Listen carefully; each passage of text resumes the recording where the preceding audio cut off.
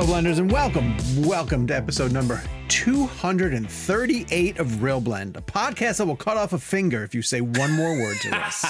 On this week's show, it's a big week at the theaters. We're talking about Glass Onion, uh, The Fabelmans by an up and comer named Steven Spielberg, and then Devotion with director J.D. Dillard on the show. It's Thanksgiving weekend. It's when everybody's going back to the movie theaters. And so we have a ton of great titles to talk about and some really exciting interviews. By the time you guys are listening to this one, hopefully you caught Rian Johnson, uh, the director of Glass Onion. He was our bonus episode on Wednesday and a uh, return guest, the Blend podcast. Always great to have Rian on.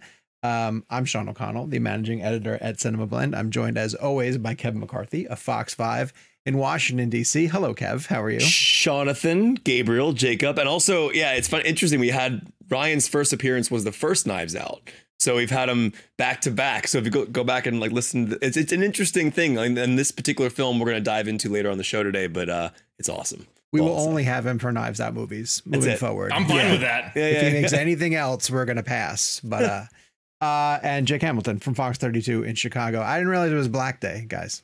You didn't get the memo? No. Uh, you know, Sean, you mentioned Rian Johnson being a return guest. Um, we should get another return guest on the show maybe in the coming weeks. now Oh, that's Hashtag if it happens. Yeah, let's let's not tempt fate with that, my friend. I'm feeling Yeah. cocky, man. I'm feeling No, cocky. no, no, that's that's where we get that's that's where it gets slippery. We got to be careful. Uh, that's, there there are a lot of factors in play for that one. Um, That one is a lot of factors. yeah. Yeah, because the, the circumstances that, in order to pull that off, are um, it's going to make for a good story on ReelBlend one day. Hundred percent. Yes. yeah, Hopefully And- after it has and it's happened. a it's a big name. We'll just tell you that. oh, it's a big one. And by It's that, Kevin one. means it's long. It's like it's a lot of letters. It's a really a lot of God, consonants. now people are going to think Tarantino's coming back. no, no, no. It's not Tarantino. It's not Tarantino. Wait, No, what, what- what actor has a really long name? like uh, I'm trying to think of other people, but all right. I don't know. We'll get- Arnold we'll keep- Arnold we'll. Schwarzenegger. Arnold Yeah, yeah, yeah. Schwarzenegger is pretty long. It's not Schwarzenegger though. It's not Schwarzenegger. All right. If you're watching us on YouTube, hello. Thank you so much. Uh, we appreciate you joining us. Hit subscribe, turn on your notifications. You'll be alerted the moment the new episode drops on Friday mornings. Um, we're available every place you get your audio podcast needs met. And if you would like to subscribe to ReelBlend Premium, go to the description of wherever you are listening to the show right now. It'll get you a bonus episode on Mondays. It will get you a newsletter um, from me, and it will get you an ad free version of the show. All right, we have a lot of stuff that we have to get to, including oh, I want to plug the Rian Johnson interview. I mentioned it earlier. Uh, Rian Johnson joined the show. It is a bonus episode, not behind the premium wall. It's just a something you guys can go and listen to. Is spoiler free. So uh, if you want to listen to it before going to see Glass Onion, uh, you can do that. And um, highly, highly informative. Yes, Jacob. I was, I was going to say, don't you think the person I'm most excited to hear this interview is Kevin because he tells a Breaking Bad story that's going to blow Oh. your freaking mind. I so uh, uh just just for clarification, so the story that Jake's referring to, I saw Sean tweet this out, and I haven't had a chance to read the article yet. Um, but it's a Breaking Bad story. It sounds like it's about Ozymandias, which is a Yeah, great episode he is. directed. Um, because Rian did The Fly and Ozymandias, I believe. Right? Aren't those his two episodes? I could be thought wrong. he had a third one. He definitely did The Fly, okay, and and I which is thought he had a third one. And the fly is like one of those controversial ones. I love the fly, but people were like, "Oh, it, nothing happened." That, that was the whole point of it. It I, I was love it as a too. separate entity. Like, I, Yeah. don't, I don't, not within the, like, whenever we were watching it week for week, I didn't like it in the context of Breaking Bad, but like plugged out, almost like I would love, I would pay money if they performed that on stage on Broadway. Yeah. Well, and, and real quick, I know we had to move on, but uh, I haven't seen the article yet. But from what it sounded like from the headline was about like getting a shot in the light. Um, and it's funny because there's another great story. I, he didn't direct Crawl Space, but it's my it's one of my favorite episodes, probably my favorite episode in the whole series. Mhm. And that has a similar shot or similar moment, I guess, where uh, Gus has Bryan Cranston's character uh, in a you know his head's covered by that whatever this like I don't know oh what yeah. you call yeah, that. yeah, yeah, Yeah. like a And- sack, And satchel. if you if you watch the shot, the sun goes in and out of the clouds like three times, and it's a oneer, and it's impossible that it would actually work that way in, in bursts of time. So they actually have this massive wide shot back, and they sped it up. But because you're so far back, you can't even tell that the people are moving faster than they would in normal life. That way, they could get the sun to go in and out of the clouds. So this story intrigues me because any major shot on that show that I've read about were like uh, things that I thought were like monumental and brilliant were like up against a clock. Wow. Oh, dude. that. So Yeah, It it gives me so much anxiety. I will give you a hint about this real fast, real fast. I know. Um, it is a pivotal moment uh, in in Breaking Bad as a as a totality, right? Something to do with Dean uh, Dean's character. I'm not going to give away that. Okay, okay. And and all I'll say is they had they had packed up the the gear, uh, Hmm. and were and were leaving before Rian Johnson realized, oh shit, we didn't get coverage for for this moment, and they raced to set up, uh, because the shadow was coming across Wow. and would have messed up the shot. And when, when And- you find out what shot it is, you're it's going to blow your mind. And it shot on 35. So Michael Slovis, one of the major DPs in that show, they were shooting film on that show. Yeah. So I mean that that even makes it even more insane because they It's had to shoot it on film. So Go listen to the Rian Johnson interview. You guys will love it. But in the meantime, Excited. we have another interview for you guys to listen to right now. Uh, there's a film coming out uh, this weekend, and it's called Devotion, and it's been making the film festival rounds. And it is, um, I, I feel a little bit bad for Devotion in this sense. It is the second sort of naval aviator story to come out um, after With Glen the, Powell. the behemoth that was Top Gun Maverick. And yeah, yeah, and Glen Powell is behind it. And uh, Jake, I don't know if you guys did if you when you did the junket got a chance to like speak with Glen Powell, and I had to throw a Top Gun question his Yeah. way essentially, and you could just see him kind of like sh- you know sigh a little bit, like because he's been working on this project for years, five years. Which, which, if you've ever Yeah. asked Yeah. an actor a question and seen like the life get sucked out of their body because they've been out, know. like we we've all experienced that, and oftentimes it's questions that you have no choice but to ask. Sure. There's no more disheartening feeling than just seeing like as The you're in the middle of asking the question, you can just tell the actor just is getting ready to go into like, well, okay, here's here's the answer to the question. Everyone, you know, Yeah. It's funny you bring that up because so uh, last week I did a uh, actually I, I wasn't involved in the Rian Johnson interview because I had to go to a red carpet in DC for devotion and so I Glen Powell and Jonathan Majors were there and when Glen Powell showed up like that was the, the thing in the back of my mind that I kept thinking I was like I gotta bring up Top Gun but Yeah. how do I do it first of all he's probably already been on 50 60 Mhm. 70 interviews by this point so when he walked up, thankfully he recognized me, and the the in was, dude. The last time we were saw each other, we were on a aircraft carrier in San Diego, and Yeah. now we're in the U.S. Navy Memorial in D.C. And then he took it, and then yeah, man, this has been the year of the Navy pilot for me, and like went on this Oh, amazing beautiful. answer about like five years of devotion. I shot Top Gun two years ago. I mean, he like and again to his credit, completely just like gave it to me like as a as it was new and natural and but I also think the combination of me seeing him and him Sure. remembering us from the carpet, helpful. but also like to See, I'm saving sit- that line for the next time I see Tom Cruise. Like, oh, dude, the last time we saw each other was on an aircraft carrier. Remember that? Yeah, but like honestly, like as I said that to, to, to Glen Powell, I mean, as those words came out of my mouth, dude, the, the last time we saw each other, we were on the USS Midway in San Diego, and now we're at the U.S. Navy Memorial. And he goes, Oh, "Yeah, we gotta, we got, we gotta stop meeting in these places. This is crazy. like, I mean, it is insane what we do. But anyways, It is So- bizarre. Well, the director of Devotion is JD Dillard, and he's a terrific interview. Mm. Uh, Cool guy. Really, really knows his stuff about um, naval aviation. loved our and show too. He told me to say he said he had a great time on our podcast when I saw That's him. so cool. That's so cool. We had a great conversation, and you guys. He's like, I love right Happy, Sad. Confused. He's like, I love that BBC show you're on. What? Aw, we love Happy, Sad, Confused as well. We do, we do. but he's on ReelBlend right now. JD Dillard speaking about devotion. Absolutely. I'm Sean O'Connell from the ReelBlend podcast. Hi, JD. How are you doing? We meet again, my friend. Yes, we do. And I'm going to try my best to ask you questions that you haven't received over an entire weekend of press for this movie. Um, all right. So, ReelBlend, I have two other hosts who are normally with me. They're both en route to Los Angeles currently right now. So, I'm going to uh, fly solo on this one. No pun intended. Um, yesterday, you uh, mentioned something in our TV interview that I wanted to follow up on, and just the structure of the TV slot doesn't allow for it. Uh, you were talking about securing the planes that you needed to complete the shoot and how there were only, I believe you said 12 of them that exist, and you used six. Is Yep. that right? Uh, that I Um, think that's the math. Yeah. What is the insurance situation like when you take half of the existing fleet? You know, Sean, there are some conversations you like to be privy to, and then others you intentionally hide from.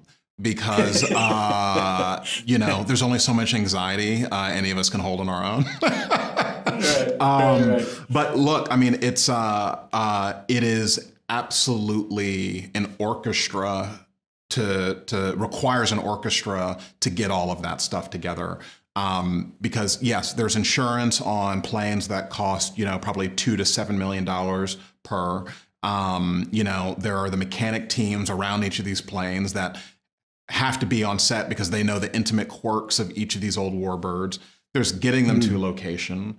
You know, there's getting them getting them all painted the same color. You know, from the same squadron. You know, so they're all they're all of these people, and that and we haven't even shot anything yet. That that's just to like you know get them to base camp basically. Sure. Um, yeah. So it's uh you know Kevin LaRosa who who sort of was our uh, you know he was our aerial coordinator he was the, the, the pilot flying you know all of our sort of you know camera vehicles in the air um, it was sort of his job to to help put all of these pieces together.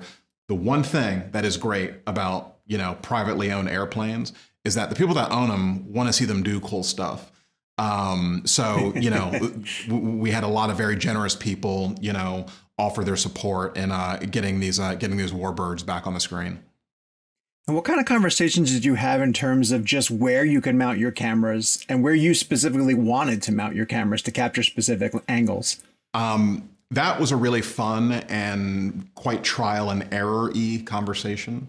You know, mm. it, hmm. it would start with, okay, what do we want to see? And that'd be Eric and I talking, um, Eric Messerschmidt, um, our, our DP, talking about like oh, this would be nice and that would be cool and okay what about over here and obviously you're sort of you're looking at the script and the moments that you need to serve in the story um, and then what you have to kind of do is you start you start kind of demoing them by putting them on the planes which is its own very strange process where the sort of metal paneling that covers the plane we would remove that metal panel machine a new panel that also has a mount on it and fix it back to the aircraft.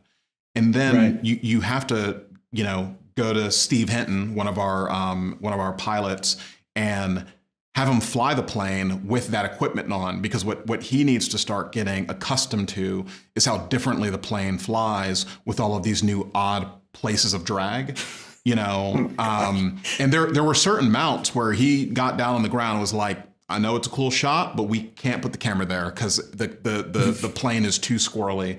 You know, so you you have to kind of inch into this, and then it's like, okay, well, we can do mounts A, C, and F at the same time. We can't do B with C because that makes it too wide. So it, it's it's a lot of it's a lot of trial and error. Um, ultimately, winding up with you know quite a Frankenstein of a of an aircraft with a lot of things mounted on it. But that's fascinating. The audience doesn't think about the amount of detail that goes into pulling off, you know, what could be a, a, a 30 second shot. There is a movie in and of itself about just trying to get these planes in the air. so yeah, it is certainly certainly a journey. Are you doing all of this from the ground, or, or at any point did you get up on a plane? So um, here's the funny thing about that: they let you up in prep. Um, okay. But the second you're like two weeks out, uh, right. they don't let you go in the air anymore because um, okay. if the director were to perish in an unfortunate accident, um, that sure. is quite a liability. But the funny thing is that the second you wrap, they're like, whatever, man, do whatever you want to do. we can finish the movie on our own if we absolutely had to. so uh, uh, the day after we, the day after we wrapped, I got a ride um, uh, in a P51 Mustang to kind of celebrate. Um, um, and uh, yeah, production was like, "Go with God. Um, hope to see you. Hope to see you back here, but go with God." So was this like um, barrel rolls or just speed or what was it? My friend, uh, we uh, we definitely took the P51, uh, you know, to its limit um, to sort of see what that old warbird could do. Granted, not a, not a plane that appears in the film, um, but uh, uh, uh, after watching aviation for seven months, a, a, hell of a lot of fun to get in the backseat of a plane like that and get to get to experience it myself. I can imagine. Um, there's a great conversation between uh, Glen and Jonathan's characters um, about learning at the academy versus actually flying, you know, and, and, experiencing it. And so I want to flip it and turn that to filmmaking. And I just want to get your opinion on film school, you know, versus being on set and learning as you go? You know, my my experience has oddly been half and half. Um, I went to film school for two years, uh, and then I started working in what would have been my soft uh, my junior year. Um, and look, uh, one thing I've realized as I've begun to have more and more friends who are also filmmakers is that none of our paths have been the same. Um, hmm. um, and there there is oddly no commonality to how anybody is doing this job.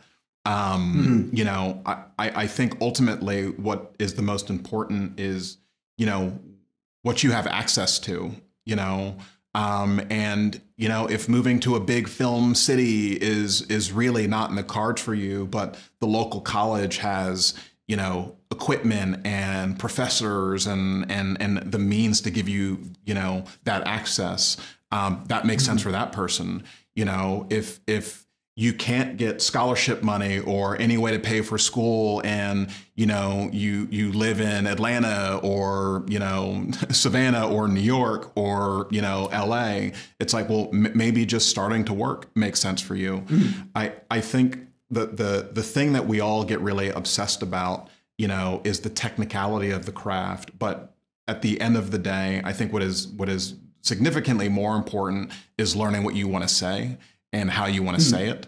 Um, because in there is like the staying power, you know, um, and the, one of the great side effects, but then there's another side of the coin. And I think the democratization of film technology, you know, the, you can shoot a movie on your iPhone. Um, sure. It, it, it's that there's so much more stuff, you know? Um, and I mean, I remember just being not that much younger, but like, how big a deal it was if you were like Vimeo staff pick because it was like, you know, it was a destination and there weren't that, but it's like, sure, there are so many incredible shorts every day, like falling onto these websites. I mean, sure, just shooting something technically sound is is is not the calling card it used to be, and and and now it's actually you know using your voice to do it. So then I'm curious, what's a takeaway from from this movie that you specifically learned uh, about how you want to convey the type of storytelling you want to do? Yeah, I mean, look, d- devotion is the sort of new standard for me and just what I want the process to feel like, you know, um, to have time to litigate the script, to have time to really prep with the actors, you know, um, to have, you know, I mean, I, have been blessed on all movies to have incredible collaborators. Um, um, and you know, devotion certainly, uh, uh, you know, is is is the same there. But I, I know that I, I'll say this: I kind of want to go to genre next, but make that genre thing the way that we made devotion. You know, to find something oh, that is really emotionally rich and um, complicated, uh, but just you know actually starts to bring the worlds of my first two movies back. Um, but you know, hopefully with sort of the the the the the, scope of of this film. Um, but you know, look, you learn you learn you learn how to do your job better on on every movie. And and the weird thing about directing always is you know, and you read the books and you read the interviews and you know you take a blocking class here and there, but there's this kind of paradox where you will always be the person who has made the least amount of movies on your own set. Um, um, and what I what I am learning more so is that that is exactly why you need to rely on your collaborators. You know, because right. um, Eric Messerschmidt has been on more sets than me. Wynn Thomas has been on phenomenally more sets than me you know sure. Jonathan glen like that's just the nature of the job. Like i have to make the thing and i sit with it for years and then i'm like hey remember me? Like you know i directed devotion. Um, uh, i mean no it's not that it's like that at all but you, you know you you stick with it longer so your your reps game you know uh, operates at a much lower level than everybody else but that's exactly why you know you, you need to work with people you trust all right, I want to ask a fun one. Um, you get to do something that not a lot of people get to do, which is cast uh, Elizabeth Taylor. what was that process like, and what were you looking for? You know, uh, well, I'll, I'll start with what I was looking for. You know, given the reality that we were trying to build in devotion, I, I didn't want that moment to like pop you out so severely, you know. Sure. But it still is one of the few moments that sort of it it it, it, it, it, embodies the sort of larger than life feeling uh, of like the the adventure that they're on. Um, Yeah. But there are kind of like you know two paths. There's there's trying to capture you know the character and mannerism of of Liz, and then there is trying to capture sort of you know the essence and awe of Liz. You know, um, and there's there's certainly a lot of overlap, but just in terms of what I was looking for, I wanted to kind of capture the the the awe of Liz first, you know, and I'd worked with Serinda on uh, an episode of The Twilight Zone, um, Mhm. and just had such a blast working with her, and she's such she's such a great, kind, and generous actor. Um, and as I started running the the, the just the list and how we're going to do this, it was actually my fiance who was like, "Wouldn't Serinda make a great Liz Taylor?" And I was like, "You know, you know what? Absolutely, because she she has that kind of movie star quality, um, and it it kind of like arrests you in the film. You're like, Sure. you know and and it, and I, I think casting someone who has that energy makes you kind of double take it makes you like wait oh my is this hap- is this happening is this happening right now um, Right. um Right. and and Serinda just did that with with such grace without ever making it feel like caricature and that that's when when the movie is already so grounded and hopefully so emotionally real you don't want anyone to enter the film with caricature um Sure. so that that balance is really important but it's uh it's why Serinda was the right one for the job Something so striking about the guys showing up in their dress whites too, you know, to that scene. It just all of it is all of it pops like that. Well, it's like, you know, even though it's a true story, you want that like, you know, stranger than fiction feeling of Forrest Gump or or or just the sort of like the magic that you get in a movie like Big Fish. Like there are there's those I think those films just kind of capture that, you know, kind of like kinetic awe of being on the road, being away from home, and and, and there, there's a there's a magic there um, that was really exciting. But you know, you want to do all of that without like breaking the movie, um, and Serinda Sure. was kind of the key to to getting to do that. One of the elements too that holds the film together is your score, uh, which I, I, love, and I would just love to hear your um, inspiration for how you chose what type of score you were going with for this movie. Um, thank you for being the first person today to ask about Chanda Dancy's incredible work in the movie. Um, uh, I mean, look, the, the the point of view on the score was very tied to what the point of view of the the the general aesthetic was the, of the film was, which was how do we collide, you know, a sort of reverence for the classics with modernity, you know, um, and the, the score is a great way to express and kind of exercise that because you know you, you want the sort of very thematically led you know big orchestral feeling but then you want to find these ways to you know sneak synth in to sneak in modern sounds to to add modern texture you know and when i met chanda um that was sort of the first thing that we connected over was like well how do how do we make 1950 feel like today you know Mhm. um and we we shared some songs and she played me some things. And you know zooming out chanda herself just had such an emotional connection to the story. Um um and you know is is a black woman herself and saw a lot of herself in daisy and the sort of family connection um and and nucleus of the film. Um so from the beginning it just felt like we were speaking the same language um and you know one thing that i said early on was like i this is I, I want this to be a movie where the theme is something you can hum, you know, Mhm. um, and then when when you when there's a, that excitement when you hear it in a place in the movie where you weren't expecting it, you know, I, I and I think that's like, you know, that's like the Star Wars thing, you know, Yeah, when, yeah, when you sure. when you hear the the theme deconstructed and you're like, oh, it, it, it signals to the body that you're like this is this is important, this is big, Um, Yeah. And I really wanted to do that. Really wanted Jesse and Daisy to have a theme. Really wanted Tom and Jesse to have a theme, and and really wanted the the, the notion of devotion to have a theme. Um, and we sort of articulate those at the the the you know the sort of complementary moments in the movie. Um, but yeah, I just like look. I blast Chanda score in the car. Like I I uh, I I'm I'm so grateful and and and, and pleased with it. Um, but uh, yeah, it, it's it's sort of like as big and as hopeful as I as I hoped it could be. Jay, did you play music on set? Uh, yeah, um, I do. Uh, but uh, but I'm also very sensitive to where the mood of the set needs to be. Um, Okay. Um, and I'm also really careful to not play music when I know everybody needs to be calibrating in their own way. Um, um, because one song is not going to apply to everybody. Sure. know, right. Um, um, but there, but music is certainly a way that I communicate.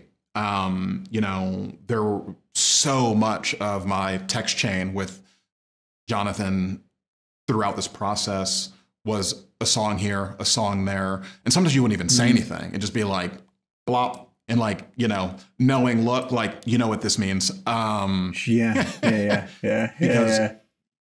so much of the so much of the process i think is it's trying not to like overspeak the magic um Okay. um you know because i think sometimes when you associate too much language to it uh it, it, it actually starts to disintegrate so Mhm. one thing that was helpful for for us was yeah kind of communicating through song and then honestly and this is something i did with the cast at large um uh is send poetry uh, because I think poetry, interestingly, by nature, uh, at least short form po- poetry, is really about uh, eliciting a, a, a feeling like expeditiously um, and expediently, you know. Yeah. So, um, Sure. Mary Oliver, one of my favorite poets, um, coincidentally has a book called Devotions. Um, Wow. and it's uh, uh, it's a collection of a bunch of her poetry.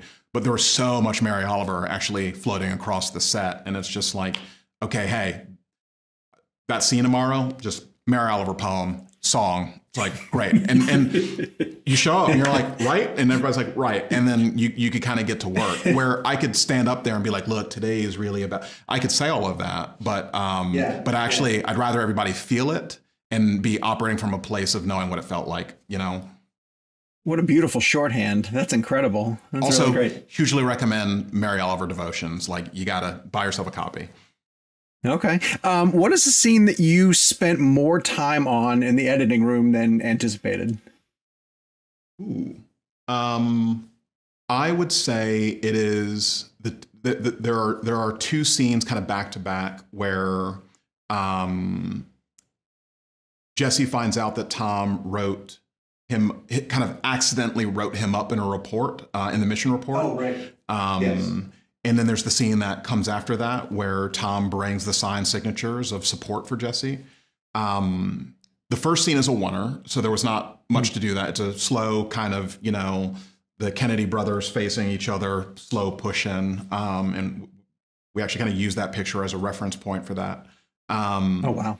um, but the second scene is actually a scene with coverage, and it, it wasn't it wasn't that I was looking for the scene because uh, we did litigate these things so intensely in prep and then ultimately on set that the cut the cut never really changed that drastically. You know, it really was always about just tightening and sharpening. But that was a scene where walking the line of are we saying too much or are we saying too little? And and even though it wasn't it was never rebroken in editorial, it was never restructured in hmm. editorial. It was this hmm. constant push and pull of a like a, a, a, a the lift of a look, you know, the addition of a sigh, the the the the removal of a you know a disengagement, you know, to just find that level of frustration between the two of them because it, it, it sort of is the scene where they are both most paramountly frustrated at the other. You know, Jesse's like, you don't understand how to help me, and Tom is like, I'm doing everything to help you, and Yeah. and it's getting Right. it's getting completely lost in translation. you know? Right. So threading that was both difficult on set, but then in editorial, you just realize the power of a look, you know, the the the power of a micro moment and wanting to not overstay, but also not move too quick. You know, um, I would say that that scene kind of took the most to come together uh, and just finding, you know, what would be just right. This will be something that um, people listening won't get until they're able to see the film, but the stocking cap payoff is spectacular. Just hey, man, set up payoff. Sometimes it just feels it feels really good, man. it feels really good. Because I'd completely forgotten about it. Yeah. so it came back around again. You let enough time pass, Yeah. and I was like, "Oh, that's that's excellent." Chekhov's hat, man. Chekhov's hat. um, whose review of this movie uh, meant the most to you, or means the most to you? Um, the families. Mm. um, you know, obviously they're watching it with a very specific lens and and and uh, uh, a, a lens that has overlap with general audience, but you know is is very different in in so many ways. Um, because look, I mean, you make a film, you want people to enjoy the film, uh, and and you want them to be moved, and you want them to laugh, and if there's space to cry, you want them to cry, and you, you want all those pieces. Um, but in a story where I, as a filmmaker, am a guest in the legacy of their family, you know, um, Sure. um, it would it w- would just be the worst to to to show it to them and to feel like we have not represented Jesse and Tom well. Um, and look, you know, we all know like it's it's hard to to force a true story into a movie. you Mhm. know, um, Yeah. and and as great as an opportunity as it is to share, uh, you know, a sort of unheard of story with the masses, the the the the the, the process of forcing someone's life into two and a half hours is so unnatural.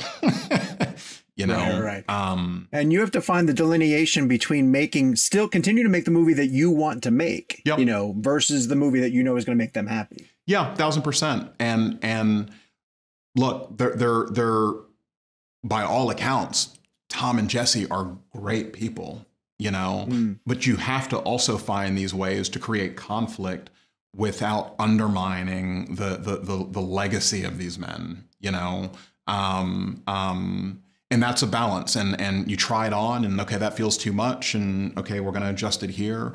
Um, but I but I think what what what ends up being the most useful is you know not treat them like deities but treat them like people and put yourself in their shoes and and just off the bat just try to start with honesty um, and tell the story through that lens you'll find the conflict because conflict in our own lives is often not that big you know? Um, and and um, you know all all feelings are valid. Um, and sort of building the movie inside out uh, I think both serviced the film but it also kind of protected the legacy because you know we, we weren't trying to artificially make this giant drama between them but we were actually trying to tell a very nuanced story of mutual understanding and just that as an experience is is plenty of drama. Um, but I think yeah the the, the review the, the the review the feedback the buy-in that was most meaningful to me was yeah from the Browns and from the Hudners JD, they're giving me the wrap, but I hope I was able to hit you with a couple of things you hadn't heard. I have heard none of those things today or this weekend. So uh, uh, 10 for 10 thank you so much. Fantastic. Delightful. We're so happy to have you on, and, and I'm really, really, I, I love the movie, and I can't wait for people to see it. uh, thanks so much man. such a pleasure. Talk soon Thank you so much to JD Dillard for joining the show. Uh, make sure you guys check out Devotion. Uh, it's it's uh, you know we make the comparisons to Top Gun at the beginning of the movie, but it's not. It's a totally different story. Uh, it's set during the Korean War, and it gets into these uh, what I thought was a really interesting angle into the story, which is soldiers who enlisted during World War II and then didn't get a chance to fight. Like by the Hmm. time that they completed their training, they the the battle was over, and they were kind of left in a limbo of what are they going to do. And they eventually get into some um, some aerial combat, some reasons for them to get up in the air. We're going to review Devotion uh, in its entirety later on in the show, so make sure you guys tune in for our reaction to the movie um, about that. Uh, hey, listen, we like interviews on this show, so we're going to throw you to another one. Uh, we had Patrick Corcoran, who is the vice president uh, and chief communications officer of NATO, which, as you guys know, is the National Association of Theater Owners. They've been very supportive of this show, and they know that we are huge proponents of the theatrical going experience. And they ran a, su- a survey that uh, Patrick wanted to come on and talk to us about, which was um, speaking to different people who come to the theaters uh, who might start coming for non-traditional programming, which means you know not the new movies that are coming to theaters, but things like uh, sporting events or live concerts.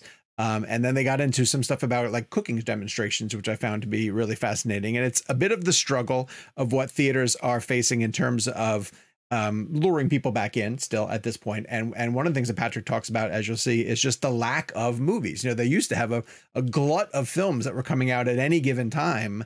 Um, and now it seems like they have less and less of these films to promote, and maybe the pipeline will grow back up. But until then, they're coming up with different ways to sort of fill that void. And so uh, we wanted to have Patrick come on the show and talk a little bit about this. So uh, without further ado, and of course, thank you to NATO uh, for continuing to sponsor this show and to throw their support behind ReelBlend. Uh, and for that reason, we wanted to have Patrick Corcoran, the Vice President and Chief Communications Officer for NATO, on the show to talk about this very interesting survey. Um, all right, Patrick, thank you so much for joining us on the ReelBlend podcast. Uh, just for starters, can you let our audience know uh, what you do and uh, at NATO and what some of your goals are in the uh, in the immediate term? Yeah, uh, I'm the vice president and chief communications officer for NATO. So I handle all of our communications to the press, to you know when we're lobbying, we we shape our messaging. You know about anything that we talk about publicly and and internally is I have a hand in sort of framing how that that's uh, put out to the public. And our our our biggest goals right now are uh, sort of getting the movie industry uh, back to full health. I mean, Mhm. uh, what we've seen is that you know people are absolutely willing and excited about coming back to movie theaters. We see it in all the, the results that we've had this really spectacular summer. Uh, what we don't have are enough movies right now. Uh, you know, if you look at wide releases, we have about uh, 62% of the number that we normally have. That's like movies that are released on 2,000 screens or more. And uh, but interestingly, the box office from those movies is about 65% of what 2019 was. Uh, Okay. So so with you know. Uh, we're, we're tracking slightly ahead in terms of the the audience interest in that, and we're also seeing that uh, there's a, a higher interest in uh, you know sort of those non-wide release movies. We we need more of both of them basically. We need more of everything, which is why this study is so interesting because it sort of points in a direction for uh, where we can get some of that uh, either movie content or non-traditional content. Absolutely. So let me catch people up. That's why we have you on the show because uh, the Cinema Cinema Foundation and the um, the research firm the Quorum uh, put together this study where they demonstrated high interest amongst people that they spoke to uh, to see more non traditional programming coming to movie theaters. And I was curious what you thought was the biggest takeaway uh, from the results of that study. the biggest takeaway is that people love going to the movies and they and it's not central to them what that thing is right? Mhm. so it's like obviously the thing that is our our biggest uh, offering to moviegoers is movies. Uh, but for a lot of people they want to see more things. There's an opportunity to get more people more often in the movie theater. And really interestingly people who have not gone to movie theaters very much or at all over a considerable amount of time, not just during the pandemic, uh, would be interested in coming back to the movie theater. They like that experience. They're just not interested in mainstream movies. So Mm. the idea of non-traditional content or you know non-mainstream or non current movies showing up in the uh, in in the movie theaters is is an attraction for them. Sure. And of course, like retro programming has been something that movie theaters have played around with often. But then there were three sort of non-traditional experiences uh, Right. that were highlighted by the by the survey, and they were um, special television episodes, which I found really interesting. Uh, live concerts, which I know that like live concerts have sort of been programmed in theaters uh, over time, and then cooking experiences. And I was just hoping you could maybe fill in our audience about what some of the experience that you guys have had uh, previously that have, might have suggested that these types of non-traditional programming might work? Right. Well, you know, there have been things like like Game of Thrones, you know, the finale or the the beginning of a season has been a, a really uh, popular item, and and some of those things have been sort of free, and you're just charging for the the, the concessions. Uh, but there's a lot out there, and there's so much that uh, people are really really into. This, you know, everybody talks about fandoms, and there's there's niche marketing and niche programming for a lot of these things. Some of them are really widely popular, and the key is to identify which one of those are have really dedicated fan bases and and mm-hmm. and want to share that experience that they have with other fans of, of what's going on. I mean, right, right, this weekend we've got something called uh, The Chosen, which is uh, a, faith-based uh, mm-hmm. series, mm-hmm. and it's uh, starting its third season. And the tracking for it is about six to eight million dollars for the weekend, which is crazy, you know. And so there's a lot of opportunities like that. And if if you have a lot of that. It helps fill in the blank spots that we've got. And once we've got a full slate of movies back, it's going to help add to that, right? So it's, it's only additive. It's not taking away from anything. What's been uh, fascinating is is to see um, television series like use Andor as an example. You know, these are filmmakers who are making television shows as if they were mini movies, and you almost lament the fact that you don't get the opportunity to see them, see some of them on the big on the big screen.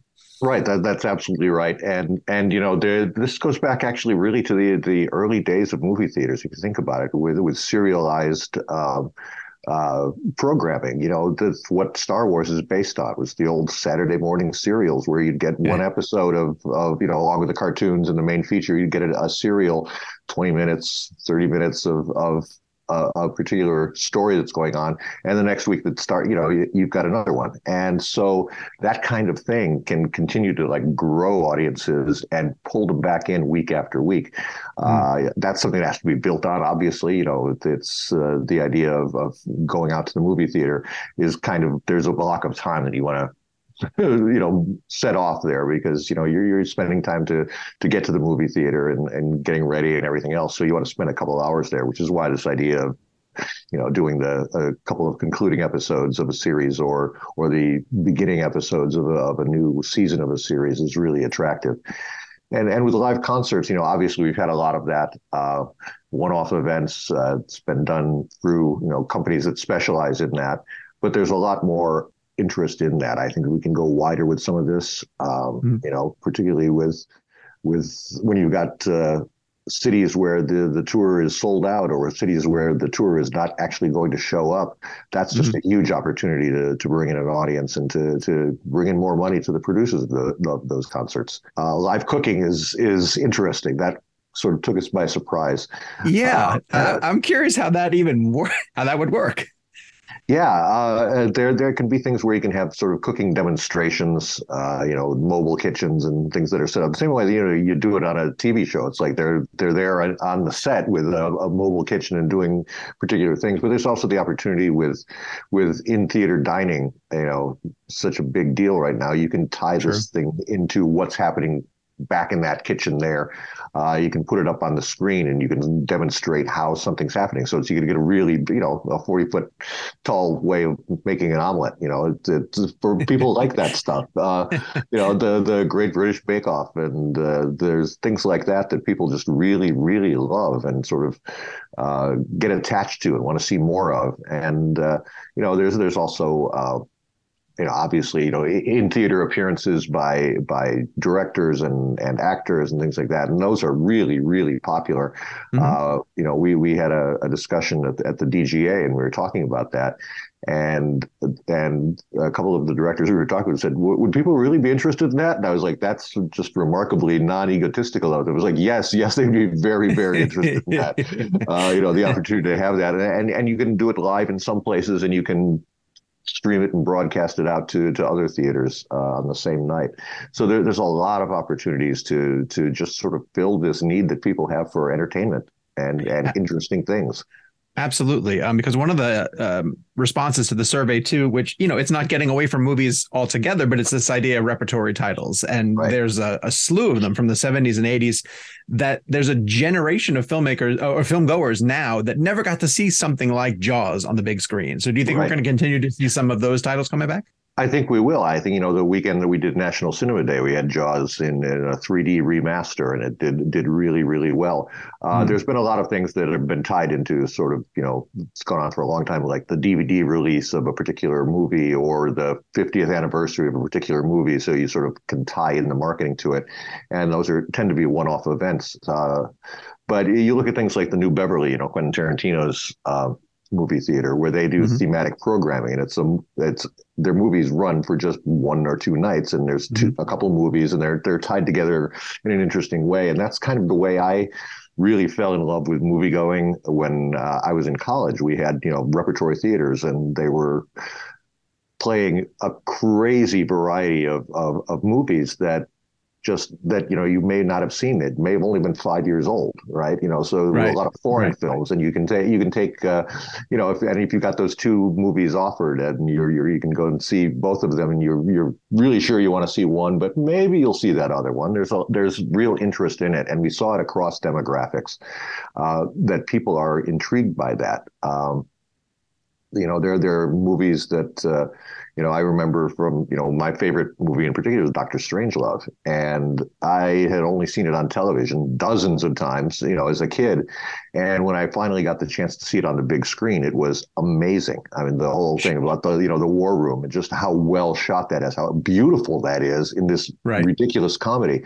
Uh, and and the the effect that that has. And you know you think about the the scene where uh, you know Peter Sellers is wrestling with his arm and, and trying to do that, and everybody's standing around him. And something you don't really see on TV is the guy who plays the Russian ambassador is completely losing it. He's absolutely about to bust a gut, Yeah. and just really. T- and you see that on screen. And, and Stanley Kubrick left that in. It's, it's you know no, the scene is so great. I don't care that somebody's about to break.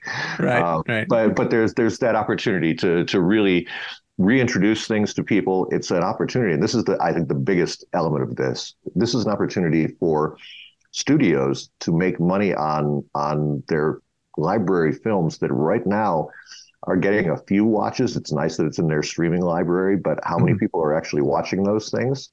Uh, so that, that opportunity to both leverage stuff they've already spent money on, Right. bring new attention to it, and by bringing it into movie theaters, it builds up the the awareness of it, and people become aware that it's there on the streaming service as well, even if they don't come to the movie theater. So there's there's there's benefits and, and ways for everybody to to to win from this. And and, and partly the the goal of the Cinema Foundation is to both uncover stuff like this, you know, the the kind of data that we've come up with from this study is really really interesting, and it can be acted on, right? But Yeah. ultimate, ultimately, it's going to be up to producers and distributors, and it's going to be up to movie theaters to get together and explore ways to to build audiences and make money off of this. And you know, we can help facilitate that through the foundation. Something that's a little tricky for NATO as a trade association. Sure. Sort of the whole point, right, of the Cinema Foundation is that we can bring groups that are not just movie theaters together, and we can look into things that benefit everybody. And we think that there's some real benefits from from just this strong interest of people in going to movie theaters and also in things that they're not getting from movie theaters right now. So we want to put those mm-hmm. things together. Absolutely. Hey, Taylor Swift, uh, put your concert, uh, the, your Oh, upcoming yeah. concert We- we, will only pay, you know, charge like half of the seventy-eight thousand dollars you have to spend. So, Exactly. yeah. well, these are fascinating initiatives, uh, and I know we're definitely going to be covering them here on ReelBlend because we are 100% behind the theatrical experience. Uh, and it doesn't have to mean movies, like you're saying. The survey is proving that just going back to the movie theaters to experience um, some other exciting content uh, is is landing on people's radars, and I can't wait to see where it goes from here. Patrick, thank you so much for joining the show. Oh. We really appreciate your time, and uh, we hope to have you back on soon. Yeah, absolutely. My pleasure.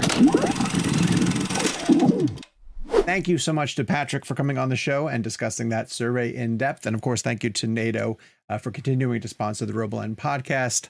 Uh, and you know that if you listen to the show, we are going to be sending you to the theaters often to go see things like Glass Onion and The Fabelmans and all the fun movies that we're going to be talking about in our next segment.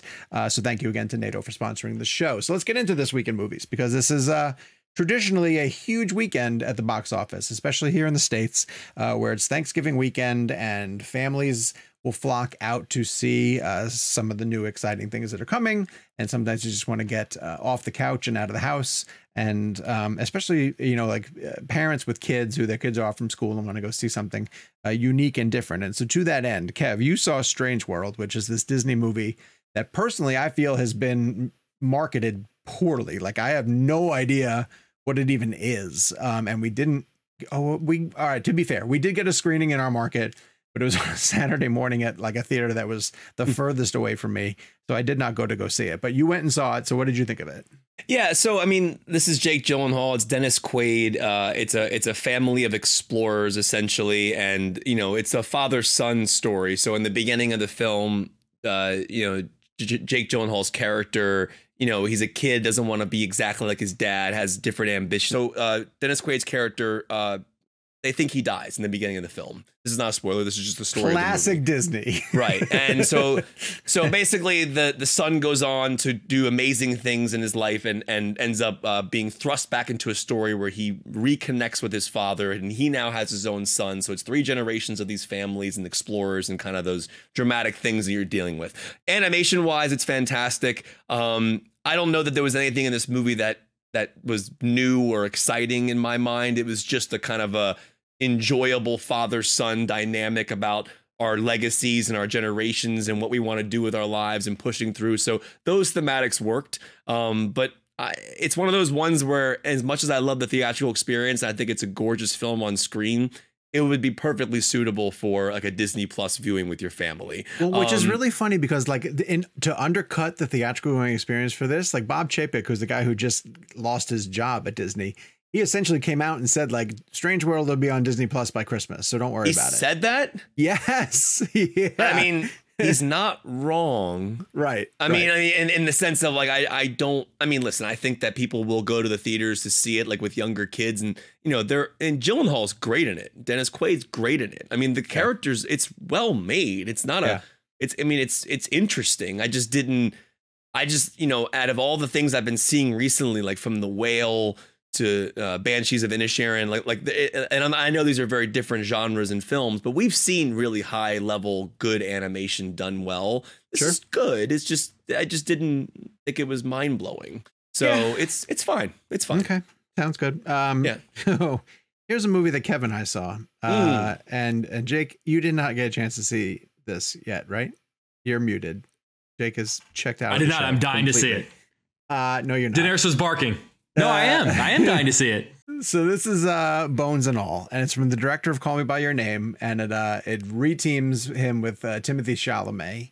Uh, and Mark Rylance is in the film as well too. Mm. And then um, Gabe, can you look up the name of the of the actress? Taylor Russell. Taylor Russell. So she was in Waves, um, which I adored. Um, she's the sister who took over the back half of that story, and then she was also in the two uh, Escape Room films. And uh, and so essentially, um, she's a cannibal. And this isn't a spoiler um, at all. You learn this in the first f- five minutes of the film, essentially. Um, and it starts off a little bit with like how her father is struggling to deal with the fact that his daughter is a cannibal. Um, and then she goes out into the world. She kind of leaves her father. The father basically says, I can't help you anymore. And she goes out wandering. Becomes a bit of a road movie.